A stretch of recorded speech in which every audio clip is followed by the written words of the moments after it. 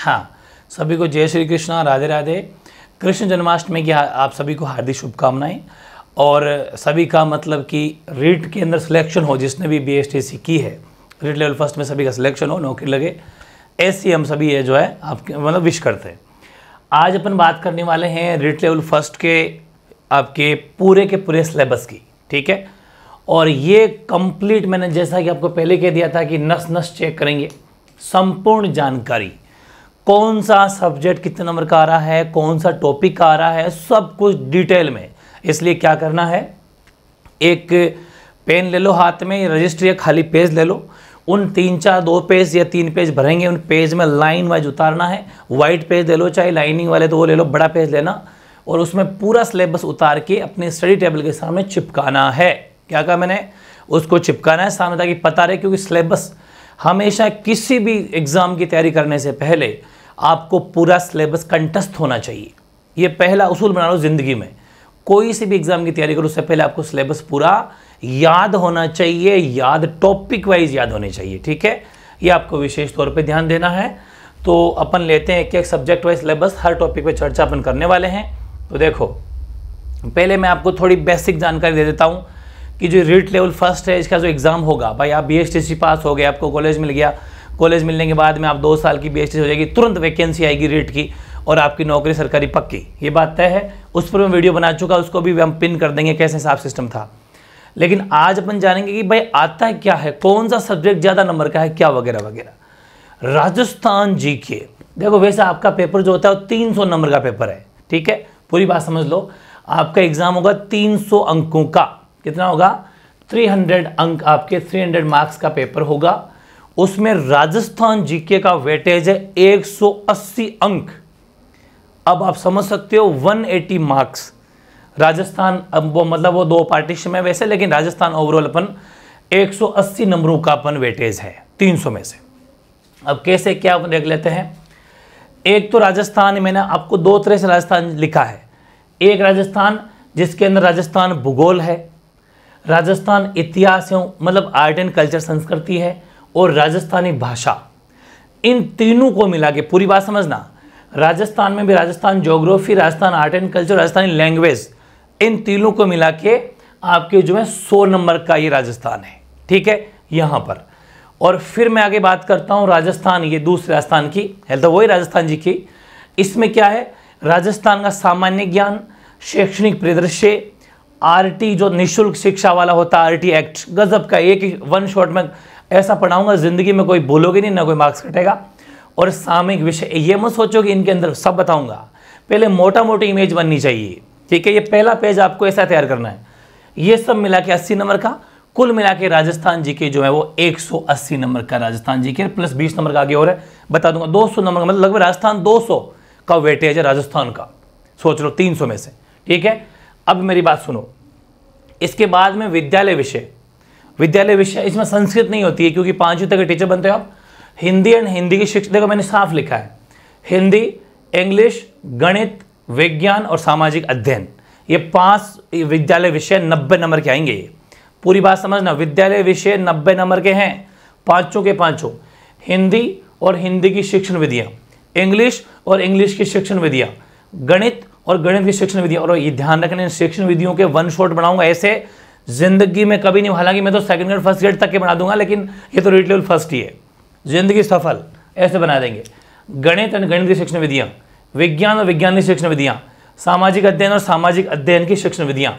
कुल मिला के जो नंबरिंग आपकी होगी, हिंदी विषय जिसमें संधि, समास भी ले लेंगे क्या क्या आएगा?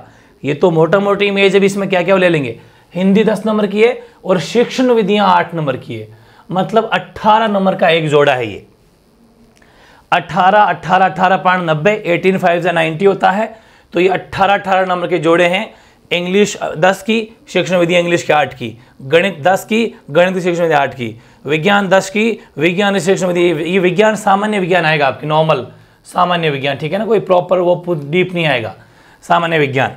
ये सामाजिक विज्ञान, मत समझना, सामान्य विज्ञान है। और सामाजिक अध्ययन या सामाजिक अध्ययन से ये दस प्लस आठ। समझ में आ गई? ये नब्बे नंबर का मामला आपके यहाँ पर है। ये आपकी टीचिंग साइकोलॉजी, मात्र बीस नंबर की।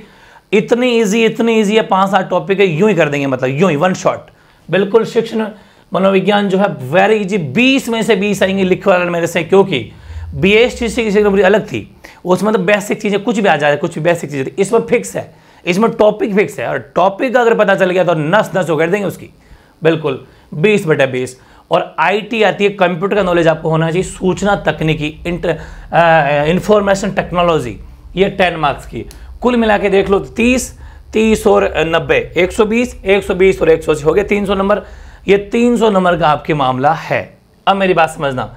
अब मैं, अभी तो मैंने मोटा मोटी इमेज बनाई, जो आपको शायद एक पेज में आगे हुई सारी सारी बातें। अब अपन क्या लेंगे? पूरी बात समझो। अब अपन लेने वाले हैं कि मामला होगा क्या? भाई, हर टॉपिक में कौन कौन सा टॉपिक के मतलब हर सब्जेक्ट में कौन कौन से टॉपिक आ रहे हैं? मैंने पहले कहा था कि नस नस चेक करेंगे। कितनी हड्डियाँ हैं, कितने बोन्स हैं, कितने दांत हैं, सब कुछ तैयार करेंगे भाई। चिंता क्यों करते हो? पहली बात, आपका एग्ज़ाम कौन करवाएगा? तो आपका एग्ज़ाम करवाएगा राजस्थान कर्मचारी चयन बोर्ड जयपुर, ठीक है? राजस्थान कर्मचारी चयन बोर्ड जिसका हेड ऑफ़िस जयपुर में है, ये आपके एग्ज़ाम करवाएगा, ठीक है? ओके परीक्षा 300 अंकों की होगी। परीक्षा के लिए मात्र एक ही पेपर होगा। ऐसा नहीं अलग अलग सिर्फ़ एक पेपर होगा। जैसा आपके बी एच के था ना वैसे ही। ढाई घंटे का समय दिया जाएगा। दो घंटे तीस मिनट। यानी कि कह सकते हैं कि 150 मिनट आपको मिलेंगे। और क्वेश्चन भी 150 है क्या? क्वेश्चन भी कितने हैं? 150 ही क्वेश्चन है। मतलब हर क्वेश्चन ये कुल 150 प्रश्न होंगे। तो मतलब हर क्वेश्चन में एक मिनट आराम से सोल्यूशन हो जाएगा। हालाँकि जीके में तो कम टाइम बता दूँगा एग्ज़ाम टाइम में किसको कितना टाइम देना है, वो तो आपको बताया पर मास्टर है उसके तो। फुल यूनिक तरीका है ना, वो कॉपी पेस्ट वाले अलग लोग वो कर दें तो उसको कोई बात नहीं। ये तरीका अपना यूनिक रहेगा हमेशा। सारे क्वेश्चन बहुविकल्पीय होंगे ऑप्शन वाले होंगे। बिल्कुल नो डाउट कोई दिक्कत नहीं है। उत्तरों का मूल्यांकन नेगेटिव मार्किंग है क्या? बिल्कुल है। नकारात्मक अंकन, बिल्कुल। लेकिन कितना?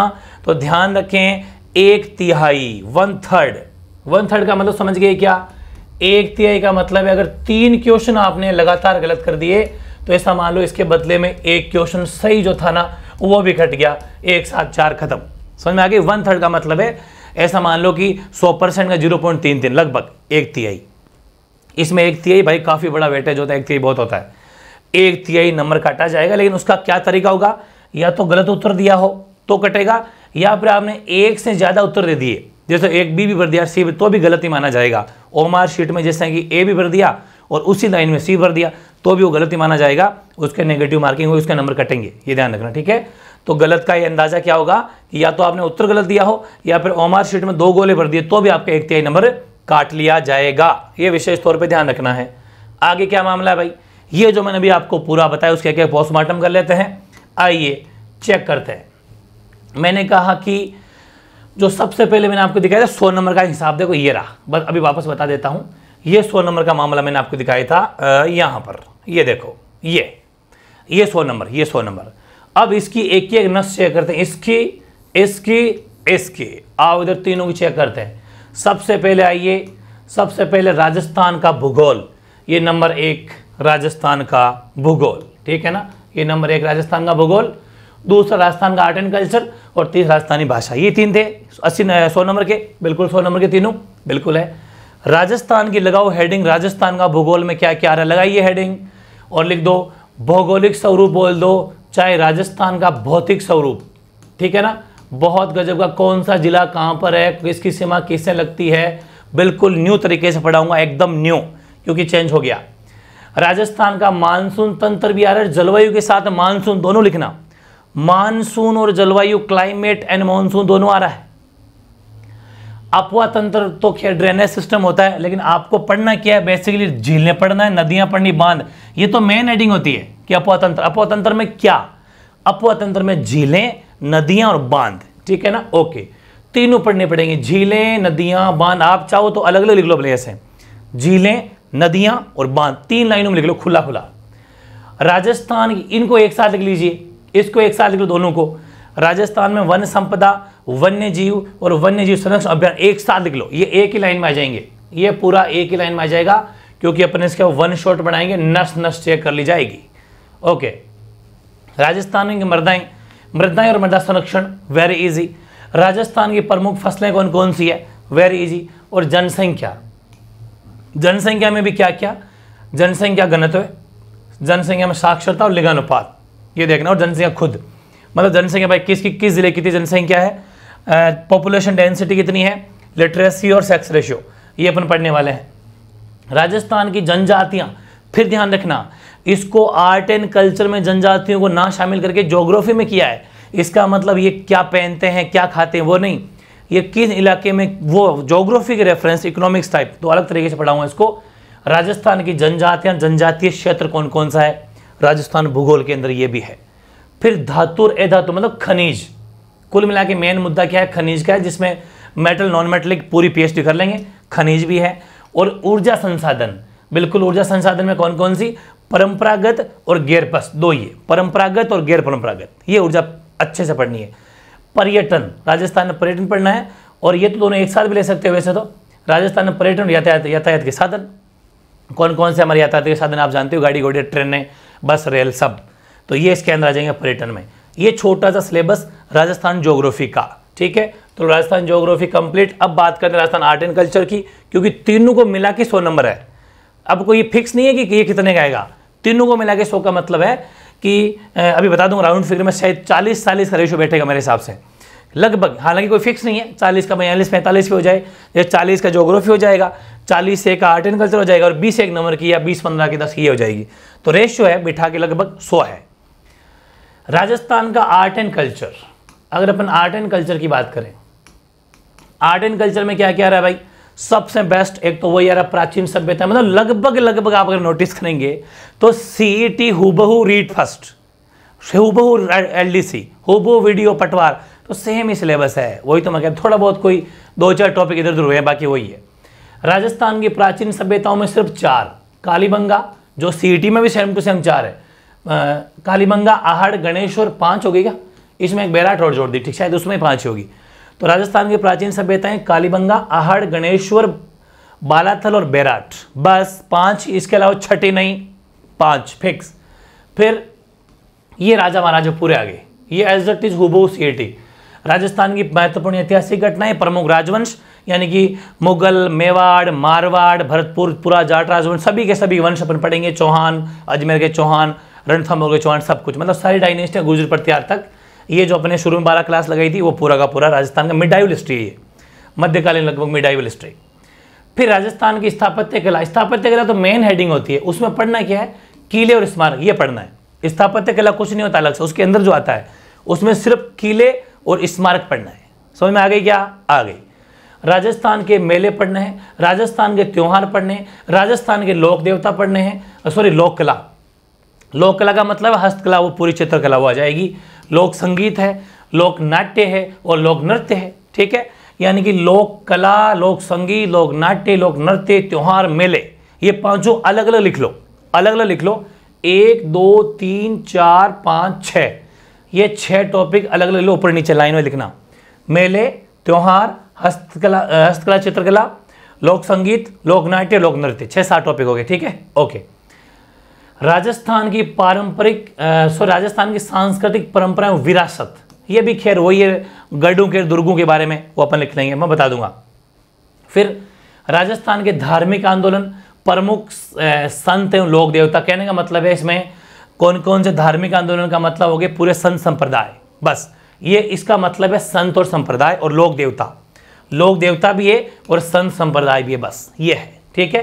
ये धार्मिक आंदोलन का मतलब क्या हो गया? इसके अंदर क्या क्या पढ़ना है? प्रमुख संत संप्रदाय और लोक देवता, ओके? जिसमें लोक देवियाँ भी शामिल होती है, लोक देवता एक साथ ही होती है वो। ध्यान रखना, देवता और देवियाँ एक साथ ही होती है, वो सब कुछ पढ़ना है अपन को, ओके? अब राजस्थान के महत्वपूर्ण ऐतिहासिक स्थल। कौन कौन से ऐतिहासिक है चाहे फोर्ट हो, चाहे मंदिर हो, कोई से भी ऐतिहासिक स्थल अलग से पढ़ाया जाता है। बिल्कुल। प्रमुख व्यक्तित्व कौन कौन से हमारे प्रसिद्ध व्यक्ति हुए जिन क्या क्या काम? बिल्कुल वेरी इजी आभूषण, वस्त्र एवं आभूषण। वेरी गुड चित्रकला, हस्तशिल्प। वैसे तो ये यहाँ पर भी लोक कला में आ गया। लेकिन यहाँ पर लोक कला अलग से पढ़ा देंगे तो कोई दिक्कत नहीं। हस्तकला, चित्रकला यहाँ पढ़ लेंगे। वैसे दोनों एक साथ पढ़ा सकता हूँ मैं। वो मर्ज करके पढ़ लें। कोई दिक्कत नहीं। आप लिख लेना एक बारी। ठीक है? अट्ठारह की क्रांति है इसके अंदर। ठीक? और जनजाति का आंदोलन और किसान दोनों है। ये आगे आर्ट एंड कल्चर में। मतलब जनजाति पूरी है जोग्राफी वाली जनजाति भी है, और जनजाति आंदोलन भी है, और किसान आंदोलन भी है, ठीक है? ओके और अठारह क्रांति भी है। इसको भी अलग अलग लिख लेना। अठारह क्रांति नंबर एक, ठीक? फिर राजस्थान की जनजाति आंदोलन नंबर दो, और राजस्थान किसान आंदोलन नंबर तीन। ऐसे तोड़ना अलग अलग तोड़ना, ठीक है? बेस्ट होगा। और फिर प्रजामंडल आंदोलन नंबर चार और एकीकरण, ये सारे टॉपिक हो गए। वो का वो सी राजस्थान का एकीकरण आप लेकिन इस लाइन में मतलब ना लिख के ऊपर नीचे लिख लो। राजस्थान का एकीकरण, प्रजामंडल आंदोलन, किसान आंदोलन जनजाति आंदोलन, अठारह सौ क्रांति, चित्रकला, हस्तकला, वस्त्र एवं आभूषण, प्रमुख व्यक्तित्व ऐतिहासिक स्थल और किले स्मारक तो खैर वो एक जैसे ही एक साथ ही पढ़ लेंगे। लेकिन ये सब है भाई, संत संप्रदाय, लोक देवता, लोक देव सब कुछ है। सब कुछ, ठीक है? इट्स ओके अब है राजस्थानी भाषा। ये 10 से या 10 से 20 के बीच में आती है, कोई ज़्यादा नहीं आएगी। ज़्यादा वेटेज उन्हीं का है। भाई, सौ नंबर का जो मामला है ना, लगभग चांस है कि पैंतालीस का ही आ जाए। पैंतालीस का आ जाए, दस से एक नंबर का जुगाड़ मेरे हिसाब से तो ये लग रहा है। पिछले साल एक पेपर में उठा के देखे तो दस बारह नंबर का वेटेज है। लेकिन एक नंबर भी वेरी इंपॉर्टेंट है।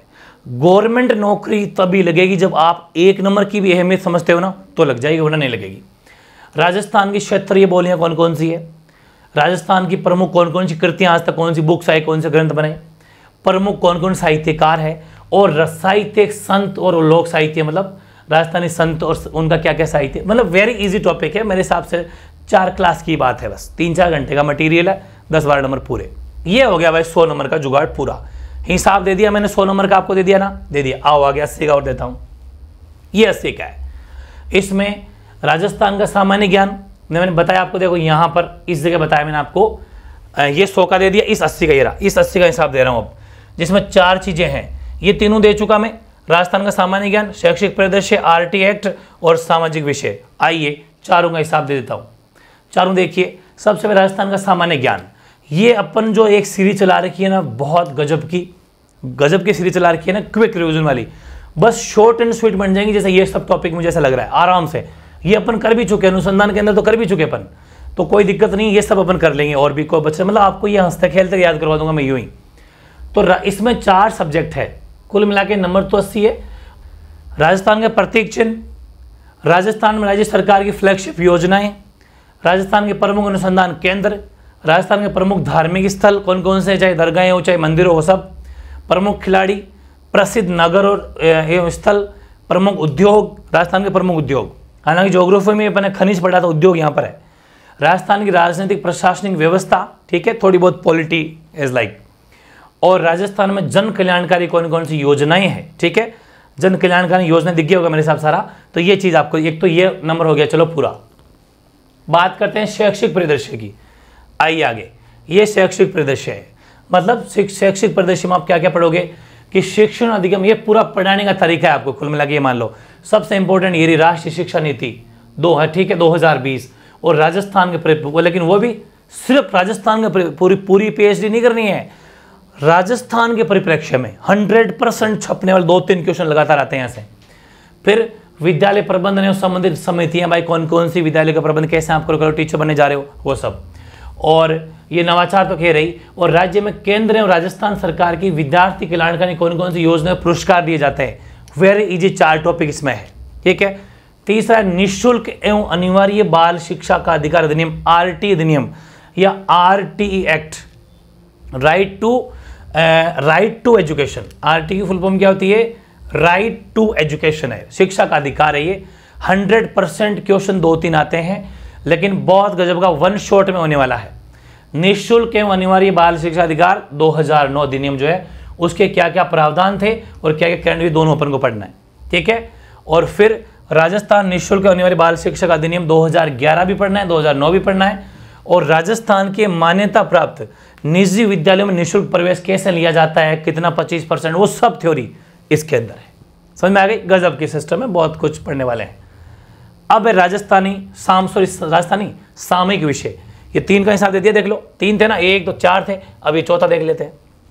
ये वाला, सामयिक विषय। सामयिक विषय में क्या है, राजस्थान की समसामयिक घटनाएँ मतलब ये करंट है।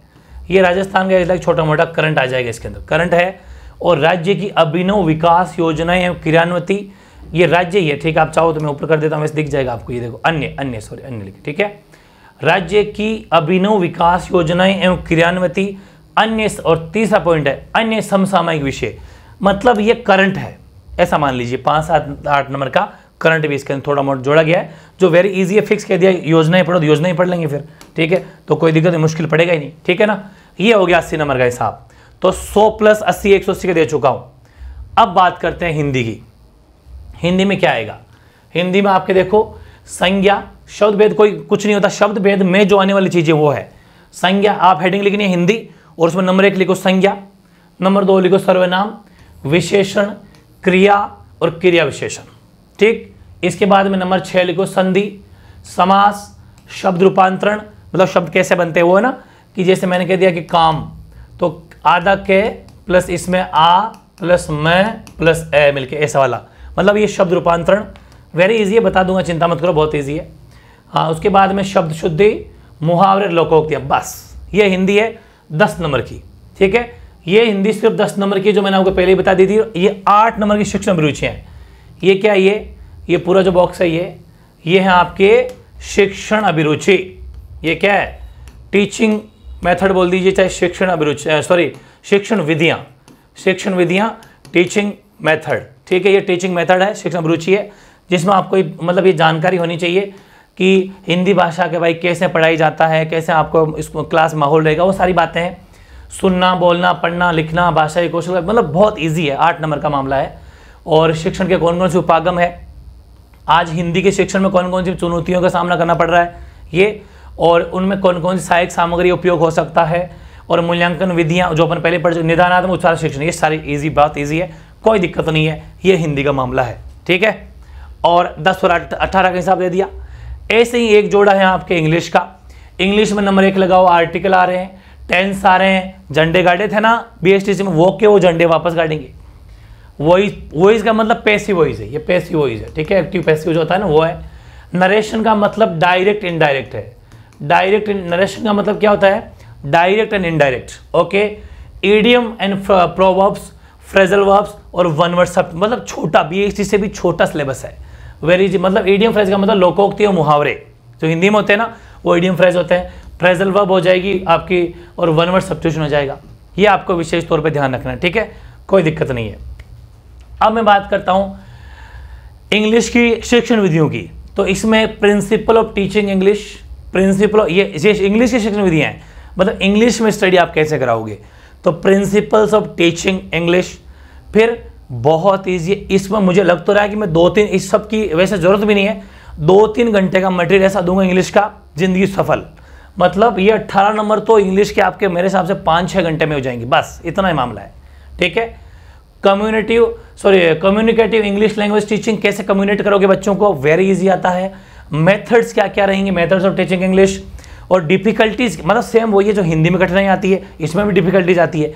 तो difficulties in learning English, role of home language multi multilingualism भाई अपन मदर लैंग्वेज, मदर टंग अलग होती है, स्कूल में अलग लैंग्वेज बोलते हैं, हिंदी भाषा बोलते हैं, घर में वहाँ जाके अलग इंग्लिश होता है तो थोड़ा सा ये भी फ़र्क पड़ता है वेरी इजी और कैसे मूल्यांकन इवोल्यूशन का मतलब मूल्यांकन, जो हिंदी में मूल्यांकन होता था, वो इवोल्यूशन है।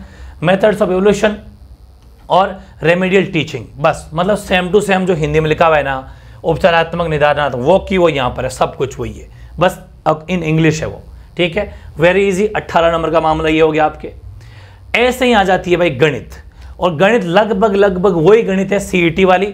बस सीईटी से थोड़े दो चार टॉपिक कम है इसमें, बस ये है। एक तो मैंने ट्रिग्नोमेट्री नहीं है इसमें, ठीक है? और कोई दिक्कत नहीं, और तो सेम ही है। पूर्ण संख्याएँ, अभाज्य संख्याएँ और भाज्य संख्या मतलब इससे कोई इजी टॉपिक नहीं हो सकता, और इससे कोई बेसिक नॉलेज भी नहीं हो सकता, लेकिन यहाँ से क्वेश्चन बहुत तगड़े बनते हैं। घुमा घुमा के। लेकिन आपको पता है, मैथ्स में तो झंडे गाड़ देंगे, हंड्रेड परसेंट नंबर वन ये टॉपिक हो गया। दूसरा, गणितीय मूल संख्या जिसमें जोड़, बाकी गुणा, भाग आते हैं। वेरी इजी क्योंकि पांचवीं तक के टीचर हो आप तो ये सब आपको आना चाहिए, लेकिन थोड़ी कॉम्प्लिकेटेड वैल्यू भी आती है। कैसे एग्ज़ाम में क्वेश्चन आते हैं, मैं बता दूँगा। ठीक है? मतलब टॉपिक करेंगे पहले, फिर इसका टॉपिक वाइज टेस्ट भी लेंगे, चिंता नहीं करें। भिन्न अवधारणा दशमलव संख्या मतलब पॉइंट्स लगा के जो पढ़ते हैं पॉइंट्स वाले जोड़ पॉइंट्स वाले माइनस पॉइंट्स वाला गुणा पॉइंट्स वाला भाग, बड़ा डिफ़िकल्ट वर्ड होता है, ऐसा नहीं इजी नहीं है, ये भी।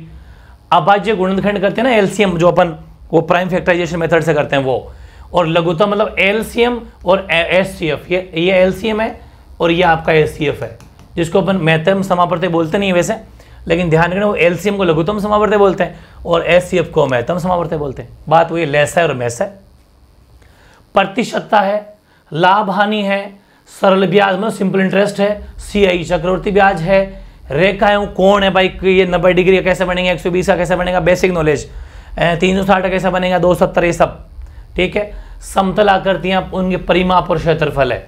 मतलब जैसे समतल आकृतियाँ लाइक इसमें आपके हो जाएँगे, आयत हो जाएगा, ठीक है? आपका त्रिभुज हो जाएगा, वर्ग हो जाएगा, वृत्त हो जाएगा, ठीक है? ये सब इसमें आ जाते हैं बेसिकली सम चतुर्भुज वगैरह सब कुछ आ जाएँगे मतलब।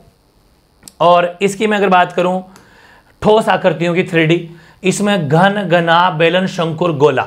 ये पाँच टॉपिक है। एज इट इज़ मतलब ये तो दोनों मेरे हिसाब से क्लास नाइन टेंथ में आपने खूब पढ़ रखे हैं, वही है। घन, घना क्यूब क्यूबर्ड सिलेंडर कॉन और आपका स्पेयर एक, दो, तीन, चार, पाँच, पाँचों के आपको एरिया और आयतन मतलब क्षेत्र क्षेत्रफल और आयतन, यानी वॉल्यूम एंड एरिया निकालना है। वेरी इजी और ये वापस गणित की भी शिक्षण विधियाँ हैं।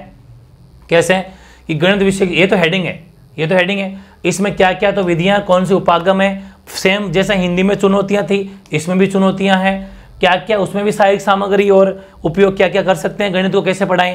भाई, गणित को पढ़ाने के लिए अपन स्केल का, चांदी का, उस सब का प्रयोग कर सकते हैं इजी पड़ जाएगा। कुछ वो मतलब मटेरियल यूज़ कर सकते हैं। क्या मूल्यांकन कैसे करें? और निधनात्मक और उपचारात्मक कौन से शिक्षण है? वेरी इजी ये गणित का मामला है। हो गया? तो ये तो दस नंबर की है और आठ नंबर की शिक्षण विधियाँ। आगे बात करते हैं, सामान्य विज्ञान। ये जनरल साइंस है, ठीक है? मैं बात करूँ जनरल साइंस की तो जनरल साइंस में भी कोई दिक्कत नहीं है। छोटा सा सिलेबस है, कोई आप ट्वेल्थ के टेंथ का टीचर नहीं बन रहे हो पाँच का टीचर बन रहे हो, सिंपल आएगा। अम्ल, क्षार और लवण acid base and salt very easy जो अपन क्लास नाइन्थ एट्थ में पढ़ चुके हैं एट्थ में भी। वो आएगा कि कौन सा अम्ल है, कौन सा क्षार है, कौन सा आपका लवण है, उनके छोटे मोटे कुछ फॉर्मूले वगैरह वेरी इजी उनके क्या क्या उपयोग है, वो सब। फिर आ जाएँगे तत्व यौगिक और उनमें मिश्रण। भौतिक एवं रासायनिक परिवर्तन वेरी इजी यहाँ से क्वेश्चन आता ही आता है, ठीक है? भाई, कहते हैं ना, बर्फ़ से पानी बन जाना, पानी से बर्फ़ बन जाना, कागज़ का कागज़ जला देना, वो सब कौन सा परिवर्तन? वेरी इजी है। मतलब तीस चालीस एग्ज़ाम्पल अगर एग्ज़ाम्पल भी लेंगे तो आपको याद हो जाएगा। मोशन गति। जो अपन गति के तीनों समीकरण में पढ़ चुके वही सारी बातें हैं। बल एवं गति के नियम क्या तो वापस गति और गति नियम एक साथ पढ़ लेंगे और बल फोर्स अलग हो जाएगा ठीक है? प्रकाश हो जाएगा लाइट कोशिका अपन देखी थी कोशिका की संरचना और उनके सिर्फ़ कार्य। बस कार्य और सर, इतना ही पढ़ना है। मेन चीज़ क्या है? सिलेबस की डिमांड कितनी है उतना ही पढ़ना है। डीप नहीं जनरल साइंस साफ़ साफ़ हेडिंग लिखी हुई है। सामान्य विज्ञान ठीक है ना? सामान्य विज्ञान। और जीव में श्वसन और परिवहन कैसा होता है और जंतुओं में जनन। इसमें इंसानों वाला जनन नहीं है, जंतुओं में जनन है। तो वेरी इजी दस नंबर की साइंस आपके यहाँ पर आ रही बायोलॉजी में सिर्फ़ एक दो टॉपिक है इसमें सेम वापस शिक्षण विधि आठ नंबर की, ये नीचे देखो, ये शिक्षण विधियाँ हैं। ठीक है? देखो, सभी में शिक्षण विधियाँ मैंने बॉक्स अलग बनाई है। ये देखो, ये शिक्षण नीचे वाले शिक्षण विधियाँ हैं। उसमें तो मैंने बॉक्स बना दिया था शायद, है ना? ये शिक्षण विधियाँ नीचे वाली। ये शिक्षण विधियाँ। ठीक है, अलग से बॉक्स इसलिए बनाया गया आपको ताकि आपको पहचान रहे, इकट्ठा मिल जाए पैकेज ठीक है क्या? बिल्कुल ठीक है। विज्ञान की शिक्षण विधियाँ, विज्ञान शिक्षण उपागम, वो का वो सेम टू सेम क्या क्या सहायक सामग्री उपयोग? Same ditto Hindi English math Hindi English math science same वही। मूल्यांकन विधियाँ कौन सी? और निदानात्मक एवं उपचारात्मक शिक्षण कौन सा? मतलब सेम वही है। ये आपके आठ नंबर। तो दस और आठ हो गया अठारह। बिल्कुल हो गए। अब चलते हैं सामाजिक अध्ययन। ये आपका सोशल स्टडी है। ठीक है? सोशल स्टडी में क्या आएगा? ये भी देख लो आप। सोशल स्टडी में देखो। इसमें क्या है? मतलब जो अपन, जो राजस्थान अध्ययन पढ़ते हैं ना, कक्षा छः सात, आठ, नौ, दस वाली, बस वही बुक्स उनमें से ज़्यादा आएगा ये राजस्थान एक परिचय। ऐसा वन शॉट डालेंगे कि सब कुछ कवर तो ये मैं कह रहा था कि ये दस और आठ, लगभग अट्ठारह नंबर ये राजस्थान के वापस है। ये सामाजिक अध्ययन में राजस्थान है लगभग आठ, दस नंबर का। तो मतलब अगर पूरा ओवरऑल वेटेज देखे, एक सौ तो पहले हो गया था। कुल मिला के दो सौ नंबर तो राजस्थान ही है। क्योंकि टीचर राजस्थान के बन रहे हो। तो राजस्थान कितना बड़ा वेटेज है। अब आप समझ सकते हो कि जो शाम को जो ऐतिहासिक सीरीज़ चला रखी है अपन ने, यूनिक, उससे कितना बड़ा आपका फ़ायदा होने वाला है, क्योंकि उसमें सिर्फ़ राजस्थान जी के प्योर। बिल्कुल। तो राजस्थान एक परिचय, ये राजस्थान का मामला है। थोड़ा मुगल एम्पायर पढ़ना पड़ेगा। मुगल साम्राज्य मोटा मोटी तीन चार राजाएँ फ़ेमस बस, ज़्यादा नहीं। वापस राजस्थान की अर्थव्यवस्था। पृथ्वी के प्रमुख स्थल रूप कौन कौन से स्ट्रक्चर कौन सा क्या जोग्राफी का पार्ट है मामूली सा? फिर भारत का थोड़ा सा कि प्राकृतिक वनस्पति है, वन्य जीव, ये तो वैसे ही सी में पढ़ रहे हैं अपन। वन्य वन्य जीव अभ्यारण्य भारत में कहाँ कहाँ पर है? फ़ेमस फ़ेमस ये अपन सी में ही पढ़ रहे हैं, आपके भी पढ़ रहे हैं। राजस्थान वापस आ गया, राजस्थान में कृषि है। राजस्थान की इकोनॉमी है, थोड़ी सी अर्थव्यवस्था है, और मतलब राजस्थान के तीन बड़े टॉपिक तो मोस्टली राजस्थान का रेफरेंस ही आएगा ज़्यादातर, और राजस्थान में लोक प्रशासन है। ये है पब्लिक एडमिनिस्ट्रेशन लोक प्रशासन, ठीक है? पब्लिक एडमिनिस्ट्रे एडमिनिस्ट्रेशन का मतलब है लोक प्रशासन, ये भी इंपॉर्टेंट टॉपिक है इजी है, कर लेंगे। एक ये रहा, राजस्थान का संविधान निर्माण में योगदान। तो मतलब लगभग राजस्थान ही है इसमें। कोई मामूली भारतीय संविधान थोड़ा सा देखना है, जो अपन पॉलिटी वैसे पढ़ लेंगे, ठीक है? ये देख लो, चाहे एक, ये देख दो और तीन मतलब छोटे मोटे कोई टॉपिक बाहर है, वैसे लगभग इनको ना भी पढ़ोगे, राजस्थान पढ़ लोगे ना तो ये अपना दस नंबर मतलब आठ नंबर तो वैसे ही पक्के ठीक है? अब ये वापस शिक्षण विधियाँ, किसकी? सामाजिक अध्ययन की। इसमें सेम वही आएगा कि सामाजिक अध्ययन की संकल्पना प्रकृति सामाजिक अध्ययन में शिक्षण अधिगम, सहायक सामग्री कौन कौन सी हो सकती है? और सामाजिक अध्ययन में अध्यापन संबंधी कौन कौन सी समस्याएँ हैं?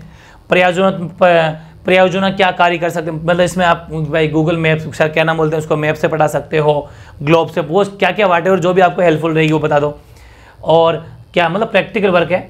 और सामाजिक अध्ययन में मूल्यांकन कैसे करेंगे? और ये वापस कैम को, वही कॉमन है निधनात्मक उपचारात्मक शिक्षण। तो 10 प्लस आठ सेक्शन में दिया, हो गए अठारह, बिल्कुल। अब देखो, ये है साइकोलॉजी ठीक है? यह आपकी साइकोलॉजी है। और साइकोलॉजी की मैं अगर बात करूँ, इसमें शैक्षणिक मनोविज्ञान है टीचिंग साइकोलॉजी इसको बोला जाता है। इसमें वेरी इजी है। सबसे पहले आपको ये पता होना चाहिए, आपकी बी एस जैसे नहीं है। इसमें टॉपिक फिक्स है। और जिसमें टॉपिक फिक्स है, उसके तो अपन महारती नस नस चेक कर लेंगे। अब बी में क्या था? टॉपिक फिक्स नहीं थे। तो पढ़े तो क्या पढ़े? और बिल्कुल बेसिक पेपर आया था, मैंने वैसे ही भी आपको कहा था। शैक्षिक मनोविज्ञान, इसका अर्थ क्षेत्र और कार्य एक वन शॉट में कंप्लीट हंड्रेड परसेंट है, बीस बटे बीस लिया होगे बस, तय है ये। फिर बाल विकास, ये बढ़िया टॉपिक है, बहुत मेजर अर्थ, बाल विकास का अर्थ, बाल विकास के सिद्धांत और बाल विकास को प्रभावित करने वाले कारक, ठीक है? फिर बाल विकास में वंशानुक्रम एवं वातावरण का क्या प्रभाव पड़ता है? व्यक्तित्व व्यक्तित्व में संकल्पना है उसके प्रकार हैं व्यक्तित्व को प्रभावित करने वाले कारक और व्यक्तित्व मापन कैसा होता है? ठीक है? फिर बुद्धि लब्धि वेरी इंपॉर्टेंट है आईक्यू इसकी संकल्पना विभिन्न बुद्धि सिद्धांत और मापन। फिर अधिगम का अर्थ एवं अधिगम को प्रभावित करने वाले कारक। अधिगम मतलब स्टडी और अधिगम के विभिन्न सिद्धांत। और अधिगम के, ये तीनों एक ही जैसे टॉपिक है। एक एक शॉट में कंप्लीट वन शॉट हो जाएँगे। अधिगम का अर्थ, अधिगम प्रभावित करने कारक। अधिगम के विभिन्न सिद्धांत और अधिगम की विभिन्न प्रक्रियाएँ। ठीक है? ओके अब विविध अधिगमकर्ता के प्रकार, इसमें पिछड़े, विमंदित, प्रतिभाशाली, सृजनशील, विशेष आवश्यकता वाले जो बालक होते हैं, उन सब के बारे में। मतलब आपको आपको पता है कि अपन हर तरह के बच्चों को पढ़ाएँगे। भाई, ये थोड़ी है कि हम तो इंटेलिजेंट को पढ़ाएँगे, नहीं, हर तरह का बच्चा आ सकता है। तो बिल्कुल, पिछड़े हुए बालक, विमंदित बालक, प्रतिभाशाली बालक, कुछ सृजनशील बालक और कुछ विशेष आवश्यकताओं वाले विद्यार्थी, जैसे कि वो लूले लंगड़े कैसे भी हो सकते हैं। तो ये सारी चीज़ें इसके अंदर, वो कैसे कैसे बच्चे होते हैं, उनकी क्या क्या आवश्यकताएँ होती है, कैसे उनको स्टडी कराना चाहिए, वो है इसमें। और अधिगम में कौन कौन सी कठिनाइयाँ आती है, यहाँ से भी क्वेश्चन आ जाता है कभी कभी और अभिप्रेरणा एवं अधिगम में इसका प्रभाव क्या है?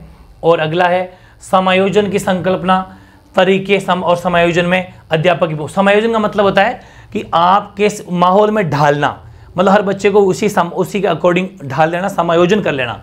इसके बारे में पढ़ने वाले हैं। तो गजब की चीज़ें हैं, बहुत इजी है। ये आपके 20 नंबर की जो है साइकोलॉजी आ रही है बस 20 मार्क्स ओके और ये टॉपिक है। और लास्ट बच के दस आई आपके आईटी ठीक है? इंफॉर्मेशन टेक्नोलॉजी सूचना तकनीक कंप्यूटर वेरी इजी है। सूचना प्रौद्योगिकी का आधार, सूचना प्रौद्योगिकी उपकरण बोल दो, चाहे टूल्स बोल दो कौन कौन से होते हैं, सब प्रकार वेरी इजी है। और सूचना प्रौद्योगिकी क्या क्या अनुप्रयोग हुए और सूचना प्रौद्योगिकी के सामाजिक प्रभाव। बस, दस नंबर का मामला टेन दस क्वेश्चन आएँगे भाई आज तक। दस नंबर, ठीक है ना? सॉरी पाँच क्वेश्चन आएँगे। तो वेरी इजी क्योंकि हर क्वेश्चन दो दो नंबर का है ना आपके? इसलिए तो वेरी इजी ये था 300 नंबर का मामला, डेढ़ सौ क्वेश्चन और 300 नंबर। अब बताओ, कैसी लगी हमारी मेहनत?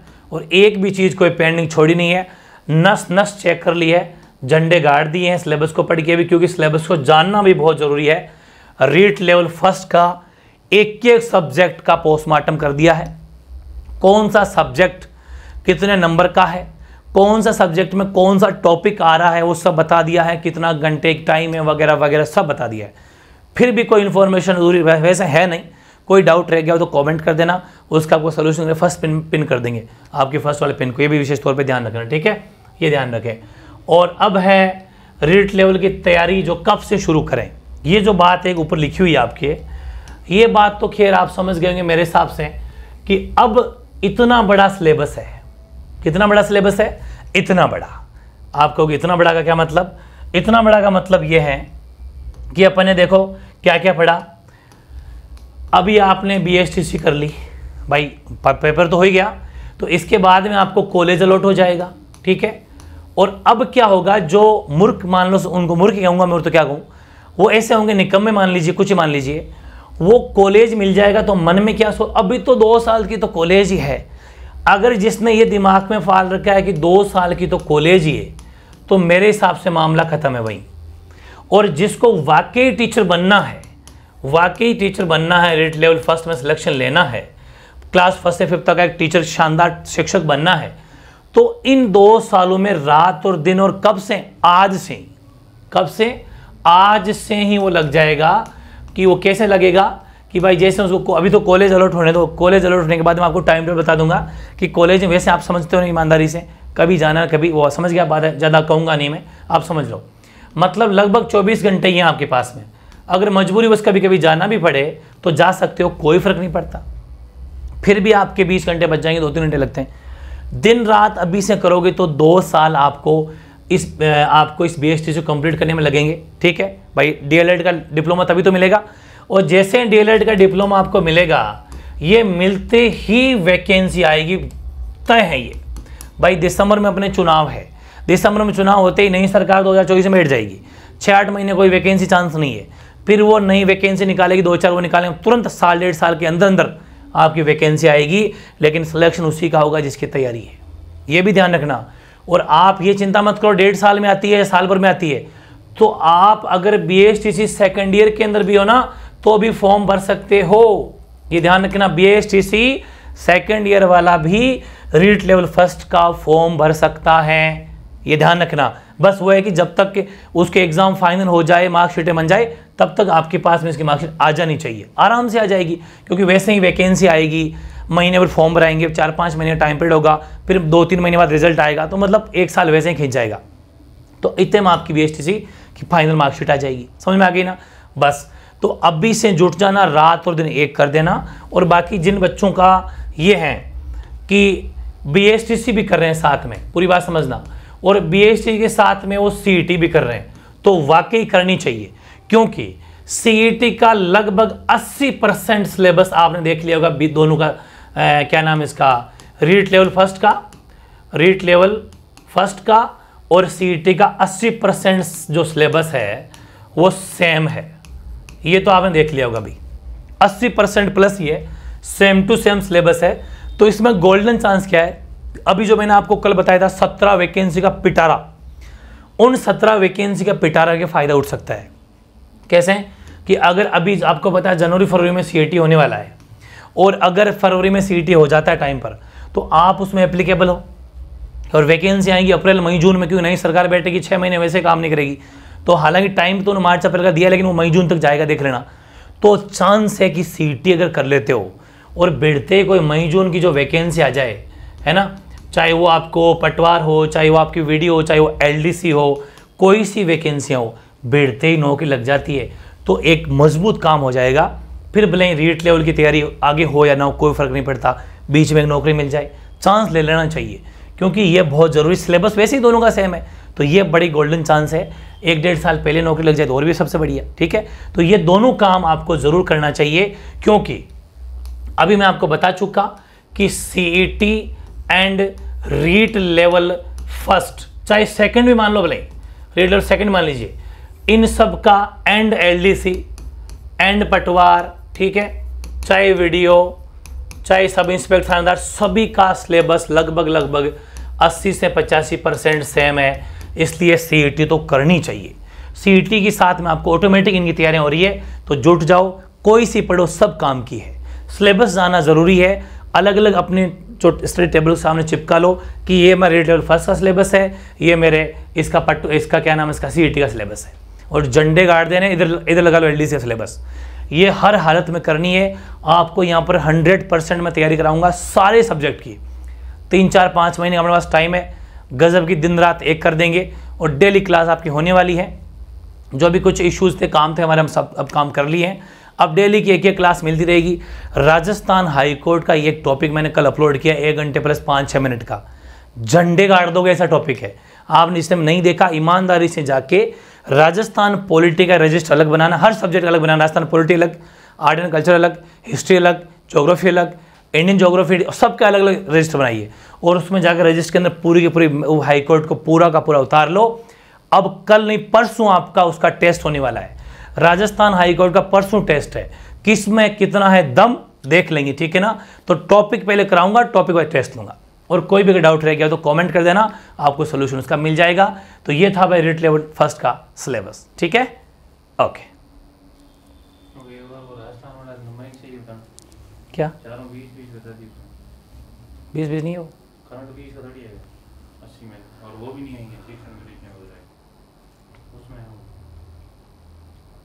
क्या? करंट तो हाँ बीस का तो नहीं बैठेगा करंट भी नहीं आएगा वो भी नहीं आएँगे वो क्या है छोटे छोटे टॉपिक है यही हम्म, ये ये सी का है। तो इसमें ये आएगा चालीस का तो ये भेज लो हम्म।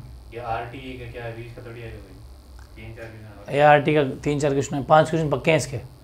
उसके पाँच तो दस नंबर का हो गया। हम्म, दस का ये लास्ट वाला करंट आएगा बीस। और ये कितने का आएगा? आर टी कहाँ बोला था मैंने? इससे पीछे वाले पेज में चारों बीस बीस बता दिए। लिखे भी थे क्या मैंने कहीं? ये लिखे ना? लिखे बड़ा तो गंदी है। ये तो लिखे हुए मिटाना मत है। ये समझा देना इसको उठा के बीच में रख देंगे। बीस भी हटा देता हूँ।